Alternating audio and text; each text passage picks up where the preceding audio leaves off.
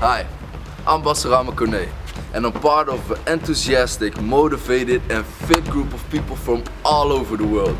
We don't rely on the opening hours of a gym and we don't have the goal to get as big as possible. In fact, our motivation is to help you achieve your personal goals, which are different for everyone. We believe in the beauty of movement to create a functional body, to achieve the growth, strength and control our body is made for. We don't use complicated machines or lift heavy weights and it doesn't matter at what level you start. But what a lot of people tend to forget these days is that all you need is your own body.